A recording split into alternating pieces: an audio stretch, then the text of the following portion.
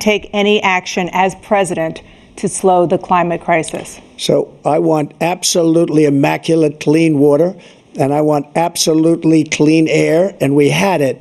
We had H2O. We had the best numbers ever, and we did.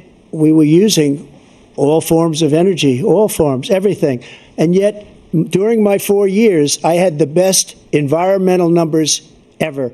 And my top environmental people gave me that statistic just before I walked on the stage, actually. I don't know where the hell he's been. The idea that anything he said is true.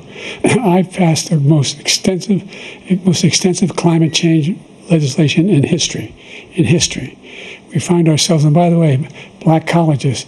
I, I came up with $15 billion for HBCUs, historic black universities and colleges, because they don't have those, they don't have the kind of contributors that they have to build these laboratories and the like. Any black student is capable in college of doing any white student can do. They just have the money. But now they'll be able to get those jobs in high tech. We're in a situation where the idea that he is claiming to have done something that had the cleanest water, the cleanest water, he hadn't done a damn thing for the environment. He pulled out of the Paris Peace Accord, uh, Climate Accord. I immediately joined it because if we reach 1.5 degrees Celsius at any one point, where there's no way back. The only existential threat to humanity is climate change, and he didn't do a damn thing about it. He wants to undo all that I've done. The Paris Accord was going to cost us a trillion dollars, and China nothing, and Russia nothing, and India nothing. It was a ripoff of the United States.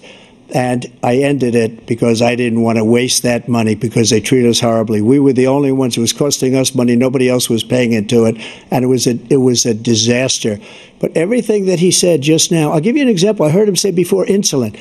I'm the one that got the insulin down for the seniors. I took care of the seniors. What he's doing is destroying all of our medical programs because the migrants coming in, they want everybody. And look, I have the I have the biggest heart on the stage. I guarantee you that. And I want to take care of people. But we're destroying our country. They're taking over our schools, our hospitals, and they're going to be taking over Social Security. He is destroying Social Security, Medicare, and Medicaid.